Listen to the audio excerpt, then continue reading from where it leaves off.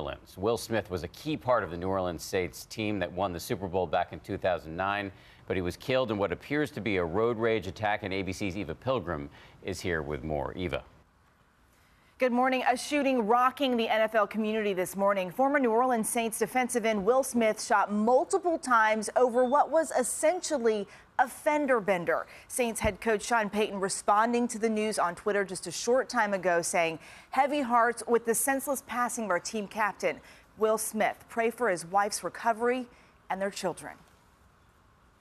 Overnight, stunning news rocking the NFL community. Former New Orleans Saints defensive end Will Smith shot and killed in a road rage incident late Saturday evening. Complaint states that there's a male down with about six gunshot wounds to the chest. Police saying that a Hummer hit Smith's Mercedes SUV near an intersection. The two drivers began arguing. ESPN's Mike Triplett was at the scene of the shooting shortly after the incident. According to police, Smith was driving and he was struck from behind by another vehicle. The two drivers then exchanged words, and at some point, Smith was shot multiple times, and he was pronounced dead at the scene.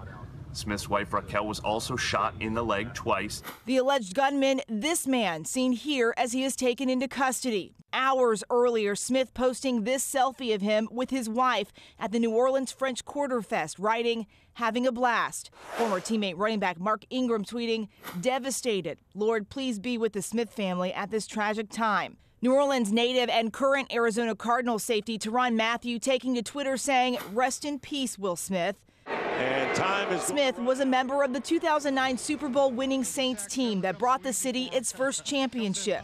Smith, who is one of the all time great Saints defensive players. The senior vice president of the Saints tweeting, A senseless and tragic loss. Our thoughts and prayers are with Will Smith, his wife Raquel, his children William, Wynter, and Lisa.